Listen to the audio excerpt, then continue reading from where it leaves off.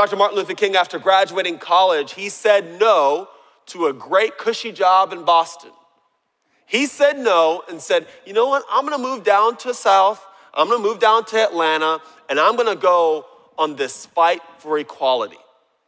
A fight that cost him a lot, ultimately cost his life. But I'm sitting here talking to you today, and the world has been forever changed because he said no to himself.